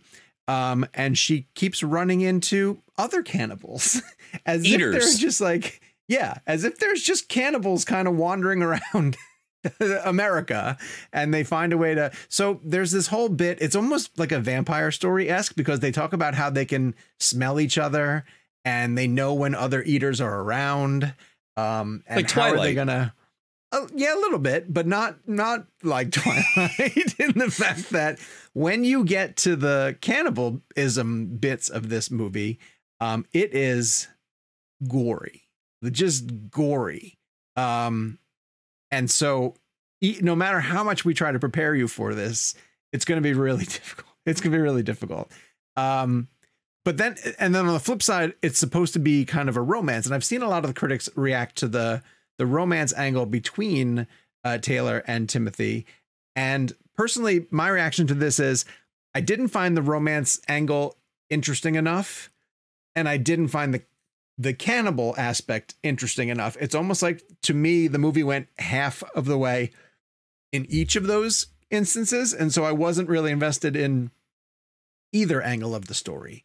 Um, and and it's almost like I became numb to the cannibalism part of it after a while, um, and I just wanted to invest in their relationship. And maybe it's the writing, or maybe it was like a, lack of chemistry between the two of them. But I didn't buy into that. Kev, did either of those aspects of the movie strike you? Yeah, I mean, I have a very interesting take on this film because I think it's extremely well made. I think the performances are amazing. I think the love story is great. I was involved in all of that. Um, but it is it it is there is a point in this film where I just said to myself like, who am I sending to see this? Mm. And, and and it's not like at the end of the day, I think the juxtaposition to me it, that's interesting and why I think it's a well made and I, I would say it's a good movie because of what it does is on top of all the graphic violence and the gore and the eating and the disturbing nature of that, have a hard time looking away at the love story. I did at least, and I cared for Taylor Russell and Chalamet's characters. I thought they were interesting together. Um, but there are scenes in this film that I wish I could unsee, and I will never see this movie ever again in my life. I do not want to watch it. You can't pay me to watch it again. But at the same time, I recognize that it's good filmmaking. It's well shot, it's well performed, it's well edited, it's well written. Um, but at the end of the day, I just on a personal level don't want to sit through things like that. I mean, the older Yeah. I get, um, also this one in particular, though, I don't think people understand how disgusting this movie is. like it, Yeah. like you're talking about like a film that I am shocked got an R rating. I don't know how they got an R rating. Um, it seems like a film that would never be made by a major studio. It does not seem like I, I can't believe, especially in the beginning when you first start seeing some of the cannibal stuff, even the smallest scene Yeah. is disturbing. Um, but there are sequences in this film that I will are going to be in my head probably the rest of my life. Um, especially Mark Rylance. You're and Whitey selling it, Tidies. baby. No, no, No. I mean, listen. I'm dying. No. Honestly, this this No, honestly no. sounds great to me. Yeah, yeah. No. Jake, honestly, Jake, after you see it, go out and buy some whitey tidies, just like Mark Rylance wears in, in this one particular scene, and and and, and you could just pay homage to him in, in, in your apartment. En- enjoy, enjoy. Okay, I, legit. This this isn't meant to be a smart ass question. So, um, my mom's coming into town, and we Take her to see she it. and I both love horror films, and and she's got a pretty good stomach for like brutal, gory horror films. Is it not a th- like? It does does the Not- love of horror film not cross over? not a horror not. movie. It- it's not a horror movie. It's, not a horror movie. It's not that It's- way. yeah, it's just disgusting. Like, It's but just, but it's just a disturbing film. yeah, I mean, at the end of the day, just ask yourself this: Do you want to sit down in the movie theater with your mom and watch people eat each other? That's that's really that. If you if that answer to that question is yes, then happy Then you have- Thanksgiving. then you have Yeah. some issues. It's Yeah. not a no. I mean, There- listen, Jake, there the are plenty of other movies you could you could watch with your like mom. there are so many great horror films out there that could you know this is I don't consider this horror. This is just I don't know what this is. It's a psychological horror in a way. Um, it's never scary. It's never meant to be scary. I looked it's away Just, it's just five meant to be grotesque. I don't look It's- away it's in meant to be movies that much. I looked away five times. I remember I and yeah, and it's the thing. It's like I'm How long sitting here it take talking to get the cannibalism stuff up and going? first minutes. 15 minutes. That's what I'm talking about. All right, I'm in. Not even Wow, five. you right? The sleepover. The sleepover. really eagerly excited about. I, honestly, you guys are selling it. I I really do want to see this. if I was on the other side of this conversation and hadn't seen it, this would make me want to see it, just because I would be curious. But I will tell you now, this is not that type of exaggeration. We are just being brutally honest that it is not a pleasant experience. And I want to make it abundantly it. clear. Yeah, Mm, Kevin says he likes it. I can't recommend it on any level. Like I'm not I- sending anyone to go see this. I'm And not. that's the thing is I I don't uh, if somebody genuinely said to me, Kevin, should I go watch this movie? I'd probably say no, but I would also with an asterisk say it's actually really well done. It's just something I would not wish upon. I like people to- a lot in it. He's great in it. I thought he was really good. Rylance Chalamet's is just a great actor. Chalamet's a great actor. Rylance, it might be the Rylance's performance is shocking. I hated him. I Oh, I thought he was great in this movie. He's Hated good in the movie, but You don't like Rylance. No, he's really bizarre in this movie. He's poorly written. He's, You're he's poorly written. you'll see. I You'll actually li- listen. i i i this is a very weird movie because I I would give it a good review.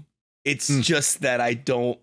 I'm just I I- I can't um, tell someone to go see this, and then and think in my conscience they're sitting there for two hours saying Kevin recommended this, Yeah. and then they're watching They will hate those you. scenes. Uh, let's move David Gordon Green it. shout out by the way, he's in the Yeah, movie. he has a cameo, which is very bizarre. Who does? David, David Gordon, Gordon Green.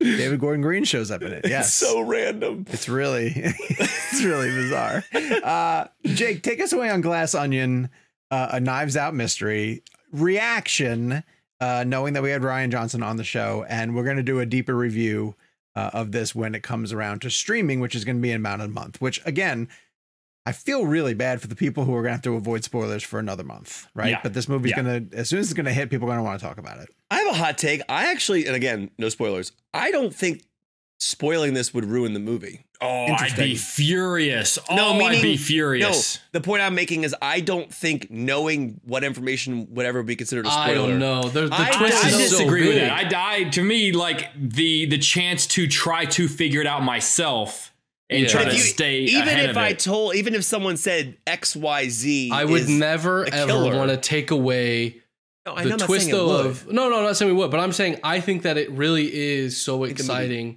The first time you get to one of the reveals, there are several reveals Yeah, in this right. movie. There's multiple. is- that's what I'm saying. It's not Yeah, just that's what I'm one saying. thing. Yeah, I think that that would that would definitely but okay. not be exciting in vague people. terms, if someone were to say that out loud right now, which we're not going to, Yeah, it's it would not take away from the brilliance It of how things unravel. I think it would. don't I think know. it would I take don't- away the first time because the first and the second are two completely different experiences I- that I you're think going to have. would. I think you could argue that no spoiler takes away the brilliance of whatever it is, but it takes away the the experience exciting of it. experience. This Yeah, has having to be spoiling- so annoying for people who haven't seen it. yeah, Yeah, let's not even. T- I don't even want to dance around it. Just, Uh, just uh, give our uh, reactions. We're gonna, we're gonna talk Yes. deeper whenever it comes to streaming.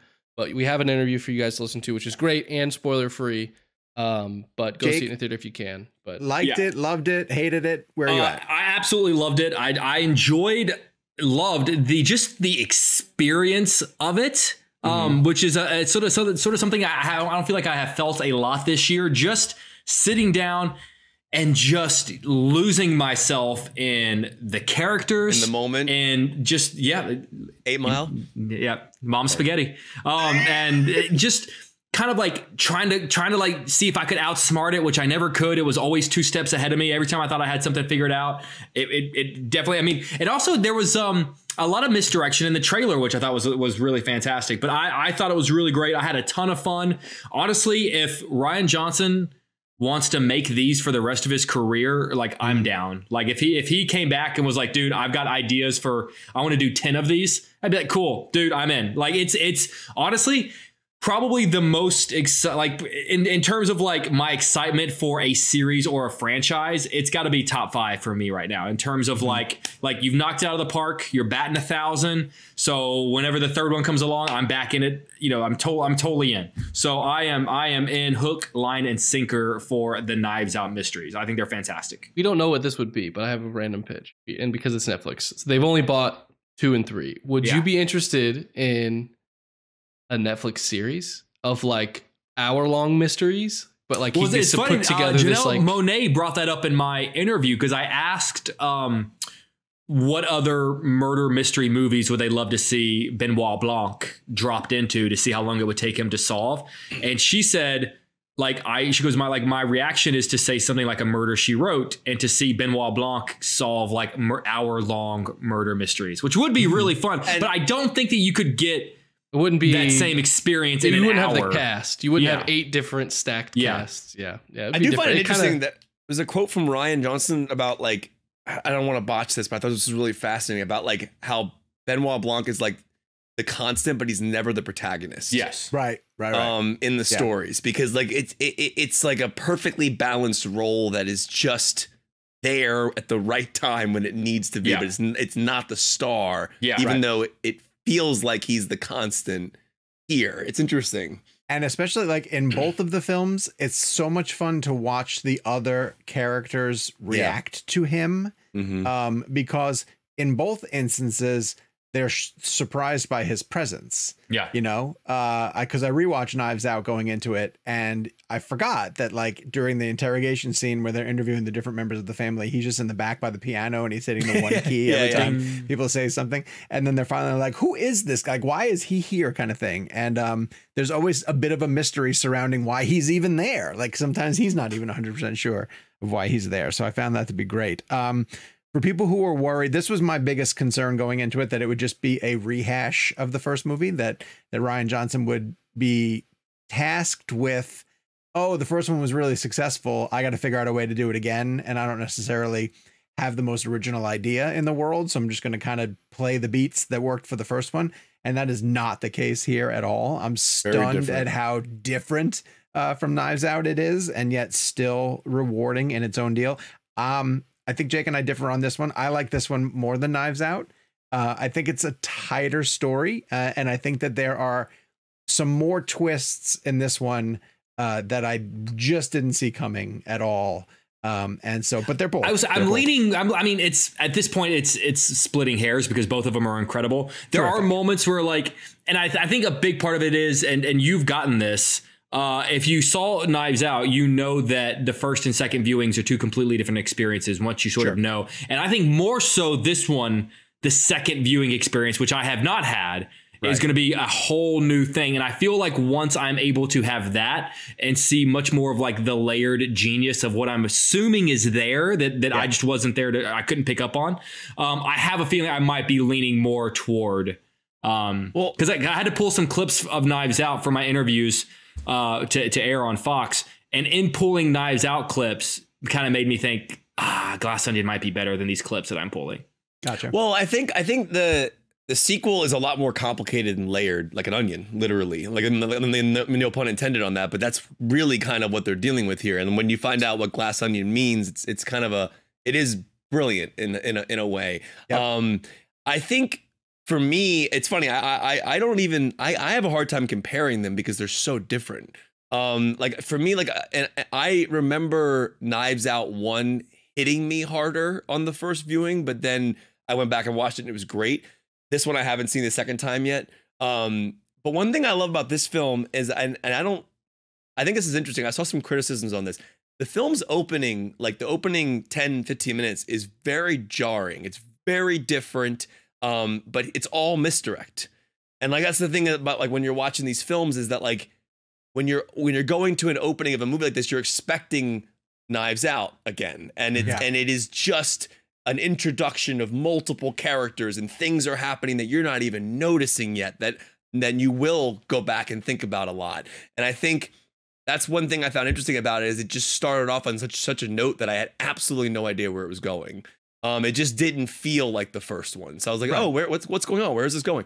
Um, Who's your performance favorite wise, new character? Who's your favorite new character? Ooh, good I mean, question. I Janelle Monáe. I mean, Janelle Monáe's performance in this film is outstanding, and and and I, I just have to say that I think she deserves an Academy Award nomination for this performance. I think she's brilliant. Um, I also thought that obviously Daniel Craig is great, Edward Norton's great, Bautista's great, Hudson's great, Hahn's great. Um, I All thought right, one. Pick one. I mean, my favorite in the new one. It's so honestly, to be really honest with you, it's a hard you said question. Monáe. You said Monáe. Monáe's That's a good- probably that's the good one. push. I- if I look back on the film and you were to say Kevin, who gave the, who gave the most memorable and best performance in the movie, I would say Janelle. Monáe. Just Jakey? and, and yeah, I really think she did. I don't think there's any line delivery this year that is better than Daniel Craig going, oh, Halle Berry. Yeah, yeah. I don't know. I don't know why that makes me laugh so I'm much. telling you, there are jokes in this film, and I'm not even going to say what they are, even though they wouldn't be spoilers. But there's jokes about two actors' names that come up within a within a couple bits in the film that I think are some of the funniest, most random writing I've ever seen. And like one of these names is attached to a scene that Sean and I have discussed a lot about ripping things. Yeah, yeah. I won't say anything else, but it is genuinely just it's a, it's a late it's a it's a razor sharp script. It's like it's almost like like you're watching it going this is perfect. Yeah. Like note for note for note for note. Every every scene matters. Every movement matters.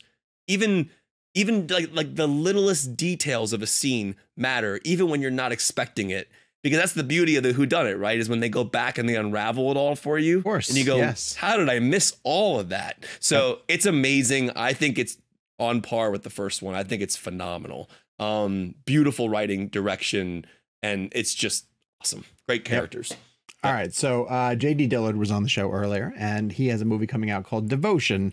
Uh, a bit of an Oscar play, uh, serious story set in the past. I, I mean, I think Sony thinks it's an Oscar play. I think Sony would like it to be an Oscar play. No, what? What's that face for? What? it's, it's not an Oscar play.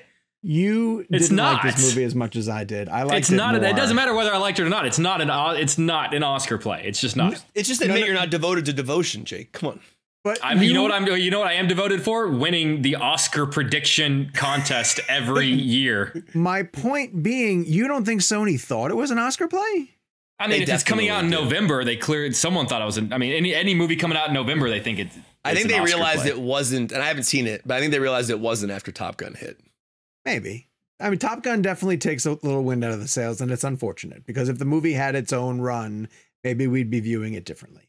I- Um, that that is a great point. Like how I haven't seen Devotion, but we all are seeing Devotion under the guise of Top Gun. I mean, under Sure. the under the the mindset of having seen Top Gun. So when you see Glen Powell again on screen, again, I haven't seen Devotion, but when you see him on screen again and there's planes involved, there's no way your mind doesn't think about it. It's not Sure. possible. But- so I do wonder how Devotion would play had Top Gun not come out this year. Well, and it Good is a different story. If we can convince people to go into it accepting that it's a completely different story and that Jonathan Majors um, and Glen Powell, Oh, I think, do actor.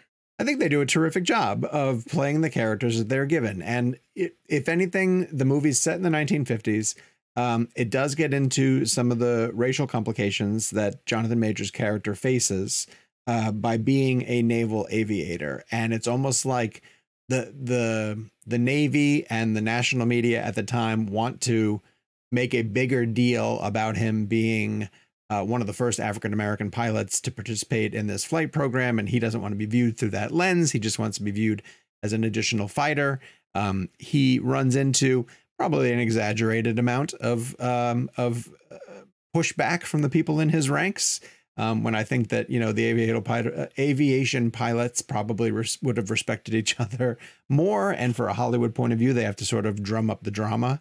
Um, it loses itself a little bit when it wanders into some of the um, adventures that the the soldiers get into in Europe. Uh, and I mentioned earlier that question about casting Elizabeth Taylor, and um, you know that's one of the sidebars that the movie sort of goes on, and it's a way to sort of build up the characters. But I think the movie works best when it is doing the the aerial fight sequences, the dog fights, and uh, The effects Dillard- look amazing. It look it looks fantastic from the they're trailers. really they're good. They're very impressive. I like them a lot. Um, it tries to tell the story of you know some of the people that w- that you leave back home when you go out to fight in war. It's cliched stuff, uh, and it's stuff that we've seen before. But I thought it was all handled really well. I liked this. Jake, you were not as into this one as I am. For what reasons? Well, it's so funny because I almost feel like we would give it the same, like we're like everything you're saying about it. I feel like I'm saying about it, but my words just have much more of a negative connotation than yours do. Like it's, it's fine. It's not a bad movie. It's a very well made version of a movie you've seen 10,000 times before. And once Sure. I started realizing that it was clicking these boxes that I've seen, even though, yes, it is representing a period of history and a war And that is, it is, you know, it's still told in such a way that it's just sort of like, okay, like there's there's that. Okay, yep, there's that. Yep, there's that again. And I just like all the beautiful shots and all the cool aerial footage can't make up for the fact that it's pretty color within the line storytelling.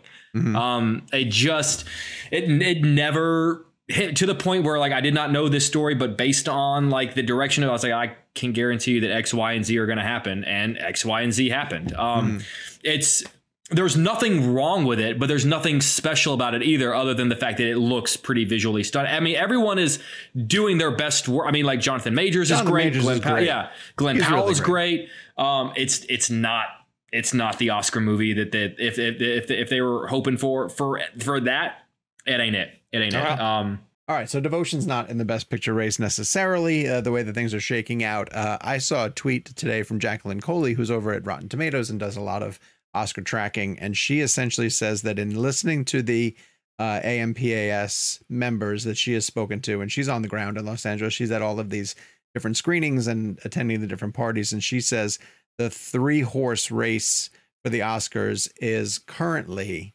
uh, Elvis, Top Gun Maverick, and this next movie that we're discussing, which is Steven Spielberg's The Fabelmans. Those are the three that she hears about the most. I Uh, think Elvis is going to have a much bigger play at the Oscars than than we think it is. Hundred percent. According to her, the AMPAS members love it. They they, do. love it, uh, and they're all in on um, who's the kid? Who's the Austin kid? Butler. Uh, Austin Butler. They're all in on him. They they love the movie. They they love Hanks, and um, yeah, God, could you, if. Hanks gets if I don't think Hanks gets into supporting actor, but May he may. Why not? Stranger things have I- happened. I- yeah, but the, honestly, it, I, I actually loved Hanks in the movie. Me too. But to me, that look that seems like the kind of performance that gets a Razzie nomination. oh, I don't know. Do the, the, the They- Razzies they- even they- a thing? That well, they they love picking out one. The, the Razzies are stupid. They are incredibly stupid, Full but they stop. love yes, Full full, stop. stop. But Yeah. they We should never talk about nominating them on perform- this Yeah, you're right. Uh, unless we, but but they love context, picking performances like that. Sure. Very showy, like balls to the wall, you know, swinging for the fences kind of performances Yeah, yeah, yeah. that do or do not, you know, um, make contact. It's clickbait. Those It is. awards It's are ridiculous. clickbait. Also, like like Razzies fall into the same category as like i- i- it's, it's something that you click on just like it's the same thing as someone doing a worst of the year list. Yeah. Oh yeah, I don't do that I either. I, I don't just don't get it. It's just so mean spirited. Yeah. Yeah. But anyway, this is a distraction to lead us into the conversation of the uh, the third movie that was mentioned, Steven Spielberg's uh, The Fabelmans. Um, and I'm going to go first. I got a chance to see it early. I did not get a chance to go out to the junket. The boys got a chance to go out and participate and interview the cast. Uh, and Kev got Mr. Spielberg. This movie, I saw it in Toronto. And Sean, it- can you please tell the the story about uh, you, Michelle, and my picture with Steven Spielberg? All right, it requires a little bit of setup. Um, Jake and Kevin went out to the Fabelmans junket, and Jake was under the auspices that uh, he was not going to get Steven Spielberg, but he was still going in hoping that maybe there would be some room. Spielberg was doing a very limited amount of time. Kevin was lucky enough to get one of the slots. Uh, Jake was on left on the outside. Jake got closer than I did to remind you all. I didn't even get invited to the junket. I was so far behind. Um, but Jake went on the off chance.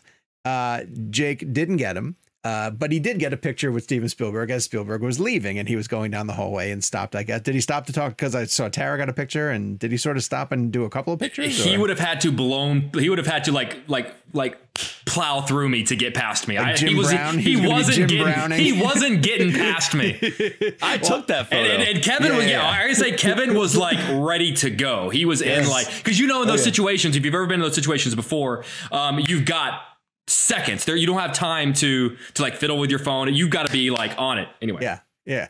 And um, so there was a lot of discussion in the text thread leading up to it of just like, are these guys going to get him? Who's going to get him? I, I would make jokes at my own expense of just like, oh, I'm not even in the running, blah, blah, blah. And then Michelle was going through social media and she saw the picture of Jake and, and Steven Spielberg. And she goes, Oh my God, look at this amazing picture of Jake and Steven Spielberg, which uh, you would think that a friend would immediately be like, Isn't that great? Isn't that so great for Jake? And I immediately shouted out, Well, he didn't get him for the interview. we did. He didn't get him. You just got, you just got the photo. Terrible. I mean, horrible friend. That's that. When, when Sean first told me that's that is the honestly like. Yeah. I was gonna. I don't, I don't want to say it was worth not getting him to get that story because it wasn't, but it, it, it, was a, it was a good companion piece to know. We're behind the scenes. We're very competitive about the opportunities that we get and don't get amongst ourselves and amongst other people. as At, well, at your funeral, when they're lowering the casket into the ground, I'm going to take a framed copy of that photo and just place it on top of the casket. he never got him. never got it. I'm gonna I'm gonna hear that whisper as your casket is lowering. You never got him. Spielberg's going to show up. I never spoke to you. oh, This got Jesus. dark fast. All right, so the Fabelmans. Um, this is a masterpiece. The movie's a masterpiece. yeah. Um, but I'm gonna I'm gonna couch that ever so slightly in saying that it's a flawed masterpiece but I think that the flaws um, are things that I really, really love about it. Um, I recognize them as issues in the movie, and and if some people go check this movie out and it doesn't connect for them, um, I could probably single out the reasons why. It it it can feel a little long. It does sort of detour into some other stories um, as it's playing out, and you start to wonder like, which direction are we going in this, and how come we're going down this route? But it's because it's so personal to Steven Spielberg, and it's because it is encapsulating moments of his life that he definitely wants to explore. Um, there's a lot of stuff about um, the relationship that he has with his mother, who's played by Michelle Williams, who is phenomenal. Um, just a knockout performance um, because it's a complicated performance because she has some form of mental illness. I'm not 100% sure what it is.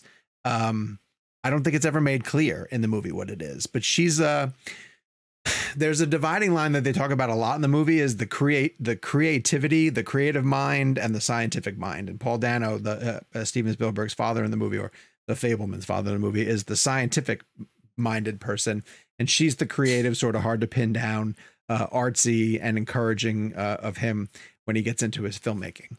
Uh, and it's extremely autobiographical, and the way that it's shot is magnificent. Uh, Janusz is just on another level uh, with this. When you when it gets into a lot of stuff about the filmmaking aspects of a young Steven Spielberg trying to figure out how to mount the things that he sees in his imagination and stage these great movies, you know, out in the desert with his with his high school friends, like all of that stuff is amazing. Um, but then it goes into some really complicated areas. It goes into this the these bullying aspects that he faced when he was in high school. Um, it gets into his parents' divorce. Um, and it's a lot of material. It's a lot of material to try to tackle in this in this runtime. It's a two hour, 40 minute movie, I guess. Um, I was never bored by it. I did recognize some places where if it wasn't so deeply personal to him, I might have pulled back just from a narrative perspective. There's some weird aspects. Like at one point, Michelle Williams uh, brings home a monkey because she wanted a pet monkey and she names it after the guy who she left behind, who's played by Seth Rogen. Like there's a lot to explore. You know, there are aspects of it I think that you could have stopped on and said, what, why don't we unpack some of this a little bit? Because there's a lot going on here. And then you're kind of bouncing off to the next thing. Um, but then you would have had a 10 part miniseries probably. And you could have had a 10 part miniseries for this. I feel like there's that uh, amount of emotion. Um, but it's, again, masterfully shot. Uh, the cast is incredible. I appreciated the insights into Spielberg. Um, I think his love for cinema is is dripping over every single frame. It has uh, the greatest ending to potentially a movie, definitely a Steven Spielberg movie. Uh, it's so incredible. I I almost hate referencing it because I want you to experience it the way that it plays. Um, but it's incredible. It, it's incredible. It's one of the best movies I've seen this year. I cannot wait to see it again. I haven't had a chance to see it a second time. And if you love Steven Spielberg, if you appreciate Steven Spielberg in any way, shape, or form, uh, I think you're going to get so much out of it. So, um, am I alone on this island, Jakey? Uh, you are not. And I think the reason I know that I love this movie as much as I do is that if it weren't about Spielberg, I would hmm. still mm. love it. What this movie has to say about how our life influences our work, our art, whatever it is, because I, I think the work that we do is our own version of art. I'm not saying that like we're producing Jaws or Raiders, but I think that we're proud in the work that we do. And I think that our lives influence the work that we do. And I hmm. think on the flip side of that, the work that we do influences our lives. I think we should be so lucky as to, to kind of put out sort of work that we consider to be art in some form or fashion. And this movie is such a beautiful study of how impossible it is to separate those two. Uh, Judd Hirsch has that great line where he says, you know, your your heart and your your art it rips you in two because so often our lives are intertwined, and the movie really studies how our what we love and the work that we do how it has the power to impact people there's there's a moment in the film that I won't ruin but it's the moment where stephen a young stephen um, truly understands the power that his filmmaking has on other people mm-hmm. and how it has the power to portray people in a certain way even if they don't want to be portrayed that way mm-hmm. and you can you see the wheels turning when he's almost like that, almost like a moment a superhero film where like he let loose his powers for the first time and goes, "Oh crap, what what what just happened?" All the so that that alone made for a beautiful, powerful, poignant film. The fact that it is about my favorite filmmaker of all time, the fact mm-hmm. that it in turn gave me a whole new perspective on so many of his films, particularly his early work. I mean, I, I dare you to watch The Fabelmans and then not go look at E.T. or Close Encounters differently. Movies that very much had to do with uh, broken families and the impact of broken families on children, you know, early in his career. I mean, you can just see like, oh my God, like that those are the films made by the kid from the Fabelmans. It's it's just it's there, like it's clearly right there. Um, beautifully done. I mean, beautifully told. Performances all around. Technical standpoint. I mean, a, a great screenplay by Tony Kushner and Spielberg. Um, it's just, I I just I, I adore this movie to pieces. It's just just a beautiful beautiful piece of work. Um, it's a love letter to art. I, I, I feel like we're starting to say that expression a lot for movies lately. Like, oh, it's a love letter to film. But like, if anyone gets to make a love letter to film, it's Steven Spielberg. And Kev, you hated this for some reason. Well, well he hates Spielberg. yeah, yeah, yeah. I um, I liken this to why I love Hugo so much. Um, I just think that that's interesting. That's an interesting comparison. And because Hugo's my favorite Scorsese film, and I and I recognize that he's made my, made better, better films, obviously with Taxi Driver and Raging Bull and all those films. But Hugo is the one to me that hit me the hardest hmm. um, because it was about filmmaking. Um, what's brilliant about the Fabelmans, outside of the idea that that it's based around Spielberg's childhood and teenage years, was learning about this sense of control that he got by filming, by using a camera. Mm-hmm. Um, there's a, a, great section in the film in the beginning, which you see in the trailer a little bit about the train and why he keeps filming it. And his mother, Michelle Williams, basically says that he's trying to control the train crash. Um, and so later, as the film progresses, you realize that the camera is a soothing, cathartic tool for him to understand the hardships in life. Um, and I mentioned this to you, got to you, Sean. I think there's a scene in this film, again, without going into so much detail, where a pivotal moment is happening within the household. Um, and this is not a spoiler, but his parents went through a divorce, and this is uh, this has all been apparent in his movies over the years. And James Lipton brilliantly brought this to Spielberg's attention when he told him that the that the aliens, the way they were communicating, was essentially Spielberg's parents mm-hmm. in uh, in Close Encounters, the because the the the science and then the the musical aspect music of it, and, yeah, mm-hmm. right? Because they use music, right? So, what's fascinating about the earlier Spielberg stuff to me is that was all unknowingly cathartic. He wasn't; mm. it, it, it was dripping out of him, and he was working through it, but he didn't really probably know why. Which is why, in when you watch the Lipton interview, like Spielberg's like, oh yeah, wow, I never even thought about that. Like, and like Lipton's right. like basically revealing to him one of the most personal antidotes of one of his movies that Spielberg never even put together, uh, at least based on the interview. And so there's a fil- moment in this film where where so the film is generally shot 35 millimeter 185 aspect ratio, and we're in the middle of a very dramatic moment, and young Sammy, uh, Gabriel's character, uh, we we go into a different film stock before we even see Sammy holding a camera. And we know immediately, just based on the grain and the and the quality of the image, that we have now entered Sammy's perspective from the perspective that we were just in in the movie. Mm. And now we are cathartically understanding this process of this dramatic moment through his eyes. Then you see him holding the camera. Then you see him filming it. And it's like to me that subtlety that that that shift in grain that shift in film quality was so subconscious and so small and minimal that it was just supposed to hit you like that and then you catch up with it in a 2nd mm-hmm. um, and to me that is just the true mark of an artist like that is so smart and so almost restraint like being held in that moment because it would have been really easy for Spielberg just to give him the camera and go right to the shot of him holding the camera so the audience understands this is how he deals with the drama. But what if we switch the film stock before you see him holding the camera? you're subconsciously going into his perspective, even though even though you don't even know it yet. And that to me is the mark of one of the greatest filmmakers, if not the greatest director of all time. Um, that's a very technical note, but I mentioned that because that's such a minor aspect to the subtle subconscious aspects of what you're dealing with in this film. Like remember in West Side Story, how great that shot was with the shadows coming towards each other. Mm-hmm.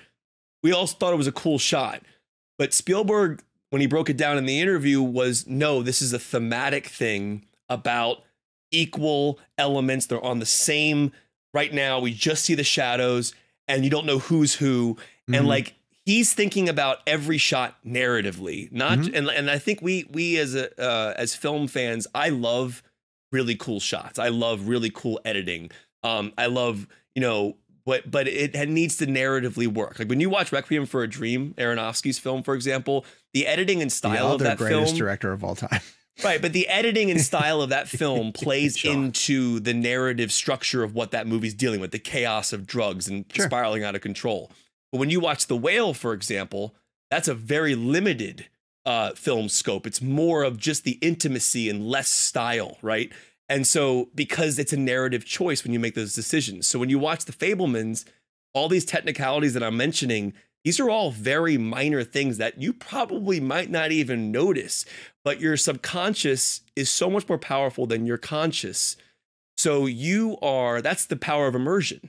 When you're watching a Spielberg film, you are suspending your disbelief to a point where you are just taken into it. You might not even realize why you're feeling the way you are.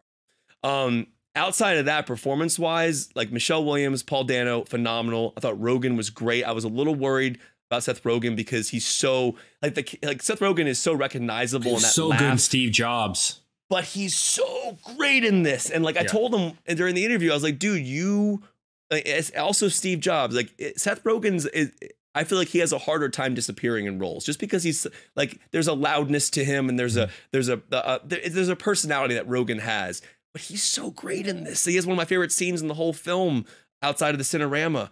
Um, but outside of that, like, I was I just think people. I think people shortchange him sometimes because, oh, like, dude, he's a phenomenal actor. Like, Seth, we were, yeah. When we were doing our interview with him, um, Eric Eisenberg, who does our, uh, did that junket for us, brought up like his his um, ability to do improvisation and yeah, you know, and and so enhance smart. scenes that way. And he goes, well, yeah, I also did an Aaron Sorkin script, you know, and, and you have to keep every every word of all that and hit all those beats, and you forget the masters that he's worked with. He's really had some amazing right. collaborators over the years. And like you know, one of the things about this film that I love, again, it's really about the understanding of why that camera was so pivotal to him. He picked that camera up out of necessity, in my mm. opinion. Like he picked that camera up because he needed to understand what was going on in his life, and he couldn't understand it any other way than through a camera. And there's like this beautiful moment where like Sammy, the character he's playing, the younger Spielberg, where he's just in bed, anxious, and he turns on his eight millimeter camera and just listens to it go, mm. and it makes him go to sleep um, or calms him down. And you start to really understand that this guy, this filmmaker, Steve, Mr. Spielberg, was born out of a necessity to understand the world around him. And the only way he understood it was through making movies. Mm. And to me, that's what the film is about is this idea of what films can do to help you understand your real life. And then working through therapeutic elements in your movies to understand what you went through and why you are the way you are. Mm-hmm. Um, and the last shot of this film is one of the greatest shots I've ever seen. I still think Schindler's List, in my opinion, is my is the best ending he's ever done in a movie.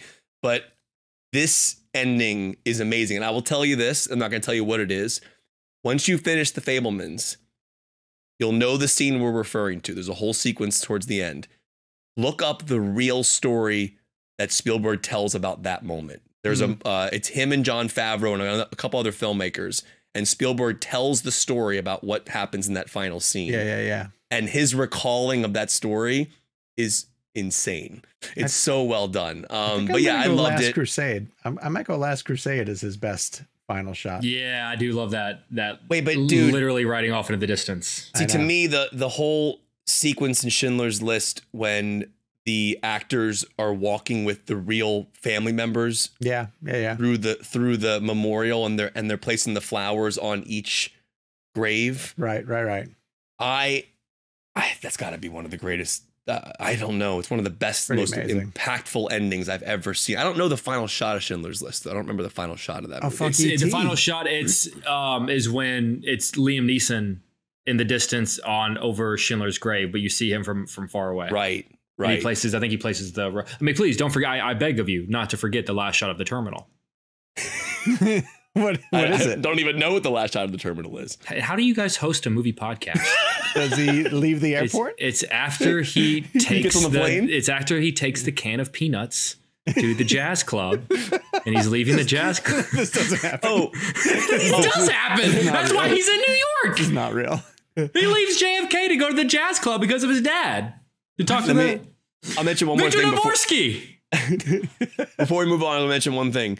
Um, we talk a lot on the show about film and digital, um, and I understand the arguments on each side, but there's nothing more magical than Spielberg making movies on film. The lighting that him and Kaminski have gotten down, there is such a beauty and immersion to this world, and it goes back and forth between 35 and 16. I want to say all the eight millimeter stuff had to be either shot or blown up to 16 because it just wouldn't look great on a big screen. But I'm telling you guys, that moment I'm referring to when it goes from 35 to 16, I think that's probably one of the most brilliant ideas I've ever seen in a film. I just, I don't, I don't, I, I, and it's such a small moment that I don't think a lot of people are going to see. I didn't even pick know, up on you- it. but you'll know it. You'll feel it. Okay. All That's right, the whole point. keep going with our blend game. We're going to shift over to uh, hashtag Michelle Williams blend because she plays uh, Spielberg's mom, essentially Mrs. Fabelman in this one. Uh, you know, it's called The Fabelmans. That's essentially the Spielberg uh, biography. Um, but Kev, where did you go with Michelle Williams for Michelle Williams blend? I'm staying here. Are you okay? I kind of thought so. So I'll tell you why though, because, and again, I'm not comparing my mother to Spielberg's mother, but when I watched a lot of the film, I saw my mom a lot in just the pure caring that she had for her son and and the, his art. There's a moment where early on where and this is in the trailer where like I think uh, Sammy, young Sammy Spielberg, uh, ends up getting that eight millimeter camera and he films that train crash and then he brings his mom into that like back area right to watch. Mhm. and there's a look on her face in that sequence that reminded me of my mom so much. Just this pure proud uh element. Yes gabe Oh, no, I was I was waiting for you to finish. Go ahead and finish. But I have a Oh, no, note. I have a we have a we have a breaking breaking real Okay. blend news just for real I'll, blend. all right i'll keep this quick um so long story no, no, short take your time. when I watched that those scenes of Michelle Williams, I just thought about the relentless love that a mother has for their child. And to see a mom who's struggling with what she's struggling with in the film, I won't go into details, but if you know that Spielberg's history, you know kind of what happened with his parents. Um, there was a lot going on in that household.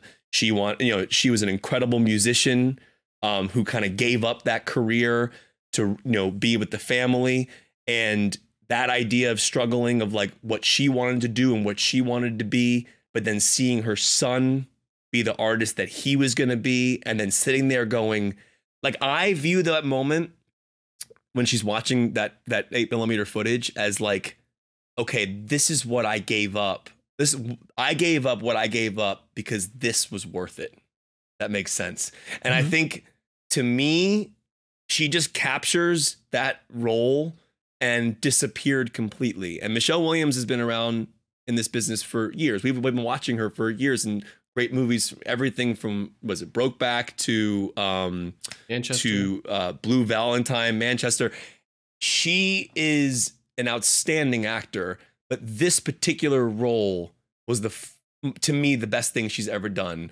Um, I just felt that she was it was a genuine performance that she actually cared about and it meant so much to her to be involved in it and you could just feel it seeping through the screen. The responsibility you have to have to play Spielberg's mother for Spielberg Hmm. is a, a, a daunting task in itself.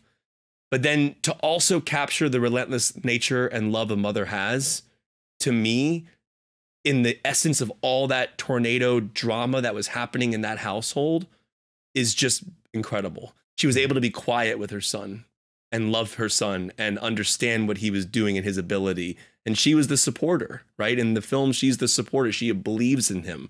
Um, and I just found that to be beautiful. And to me, I thought she just nailed it. And I just, even her dancing scene in the in the forest, I just love every moment that she has in that film. She's Yeah. beautiful character. I wanted to know before before we get to the next pick. I think that is the first pick in the history of the Blend game that is coincides with the movie of the week. Oh, interesting. Like I think it's the first time someone has picked the movie that the person is Oh. in or made. I don't think we've ever done because usually not always, but sometimes we. It's often Hmm. We pick Michelle Williams because she's in the Fabelmans this week. It seems recency, but it's really not. It's like no, it- no, it- it- totally it- fair. no, no, I no, just no, figured that's no, a fun fact. Fun fact. No, you're think we've ever 100 done percent that. right. I don't think I thought about that. Um, yeah, I just go watch the trailer. If you have people who haven't seen the film yet, just watch her watch that eight millimeter film with him and look Mhm. at her face. That to me is the performance of her career. Yeah, I'm Jake- also picking Fabelmans. Oh, Oh, what? Yeah. I love it. Yeah, and I, I look, I, I I tried to go back and look over her filmography, and honestly, try like like to Gabe's point, I didn't want to pick the movie Right. that was like the reason we were doing this. Hmm. Um, I really wanted to find something different, and every time I would go, well, maybe my week with Marilyn, and I would go, no, she's better in Fabelmans than she is in my week with Marilyn. Like she's great in all these other projects, Yeah. but she she's so fully realized and disappears so entirely um in in in this project and in this film and and and yeah a lot of it is is Kushner's and Spielberg's writing and a lot of it is Spielberg's direction and a lot of it is the heart and the trueness that comes from from Spielberg's heart. But a lot of it's her. A lot of yeah. it is uh, you know it's it's you know if if they all get her in the red zone she takes it and, and brings it into the end zone. Like that like she what she does with it adds that extra dimension that that's just not there it is it, it, It really special. Yeah. I, I, as weird as it sounds, her performance makes me feel like I know Spielberg's mom, or makes me feel like I, I understand who she is, and by extension, who he is, and and that's that's her performance. That's what she puts out on the screen. Um, she within a matter of uh, almost three hours, she like I loved her, and she frustrated the hell out of me. Mhm. And some moments I felt sorry for her, and some moments I was angry at her. Mhm. And it all came from the same person, and I understood the reasoning for everything. Um, and that's not easy to do. Yeah. I agree with Jake on that because you go through a full character arc with this Yeah. one. Like like this is not just like a his mom like supporting him throughout the the movie. It is Yeah. it is a fully realized, fully 360 dramatic Yeah. performance. It's not rose colored is- glasses at all. Like it's it's it's uh, Outstanding. it's uh, this is why I always hated this, but it is very much a warts and all Yeah. look at at who they were. You almost feel like you shouldn't be watching this Yeah. when And you're watching is- it. Uh, I'm glad you mentioned the rose colored glasses thing because I do think in going back through her filmography, she is not afraid to take roles that No. that make her look difficult, you know. Mhm. And so I debated for a long time uh, Manchester by the Sea uh, because of what she represents in that film, and she doesn't get a lot of screen time, but but the the the scene. reality of her of her presence and what it means to Casey Affleck is um is felt in every scene of that movie. But I I ultimately went with Blue Valentine, um, where it's one of those like it, okay, so I think an actor would kill to have you know one performance as good as that on their resume. Yeah. And the fact that she has Brokeback Mountain and My Week with Marilyn and Manchester by the Sea and The Fabelmans and like she's an incredible, incredible actress. Um, but Blue Valentine in particular, uh, it's it's amazing to me how fully she disappears into the character and every essence of the movie star is not present. You know, like both her and Ryan Gosling arguably are two of the most famous and recognizable actors on the planet. Um, and the fact that they just disappear into these roles of, you know, people from blue collar towns who are working blue collar jobs, um, who are having issues, uh, at family, uh, family life issues and, and ex boyfriend issues. Um, and all of it comes crashing down on the two of them and how they handle it. Um, it's Derek Cianfrance, and I thought Derek Cianfrance he went on to do um, Place Beyond the Pines, didn't he? Did he Oh, yeah. that as well too? which is a masterpiece. So that's more of a representation of that type of storytelling, right? Like people who are just from the Rust Belt kind of and are, are pushing through the difficulties of these lives. I thought it started with Blue Valentine, and I thought um, both she and Ryan Gosling were completely mesmerizing and and incredibly tragic. Uh, and it reminded me then I think we were all sort of sort of at that point figuring out like how wide was Michelle Williams's range, you know, because for a while she was the Dawson's Creek actress, right? Like who's going to break out from that? And Van Der Beek was going in one direction and Katie Holmes was going in one direction and nobody really knew quite what to make of Michelle Williams. Um, and it's I think it's pretty remarkable that she has had the career that she has had because of smart choices, you know, of working with filmmakers and taking roles that are incredibly challenging to her. Uh, and uh, and one of those to me is is Blue Valentine is the one that stands out. So uh, I went that direction. Robert Madden for audience picks. He went with Manchester by the Sea. John Palmer, Dino Paulo, and others said Shutter Island. Uh, oof, that's a That's dude, the scene when DiCaprio goes into the water, Yeah. oh, it's pulls. horrendous. Oh my Yeah. god. Uh, Carrie said The Greatest Showman, going on the opposite direction of Shutter Island.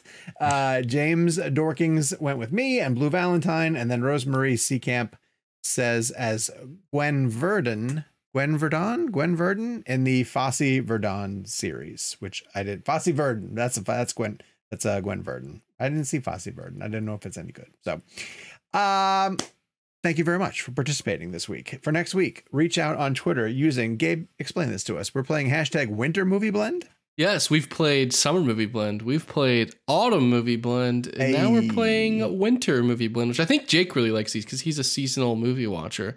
Um, no real parameters. It's not holiday movie blend. We've played that before, but it can be a holiday movie. It doesn't have to be a cold movie. It could be a warm movie. It can be whatever. It's more in the winter season. What's a movie that comes to mind that you find yourself watching, whether as a tradition or um, you just enjoy watching because you know maybe it's some movie set in an island because you it's cold where you're at, or maybe it's always warm where you're at, and so you're watching something with snow in it to to, to feel that.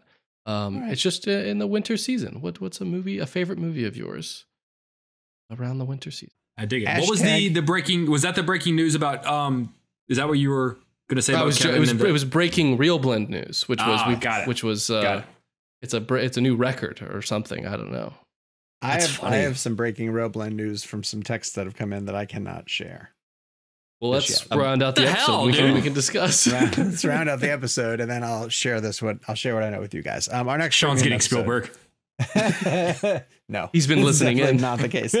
Uh, it's going to be a monthly mailbag, so check your descriptions about where you can um, a sign up for the premium, or also send us uh, questions that you want us to answer. Specifically, the email reelblend@cinemablend.com. In the meantime, follow us on social media. We are at Jake's Takes, at Kevin McCarthy TV, at Sean underscore O'Connell, at Gabe Kovacs, and at ReelBlend is the one for the show. We'll be back uh, next week. We'll be back on Monday with a premium, and then we'll be back next week with a full on episode. Uh, enjoy your weekend, everybody, and we'll talk to you And- next week. To those who celebrate, happy Thanksgiving and hockey pads. Exactly.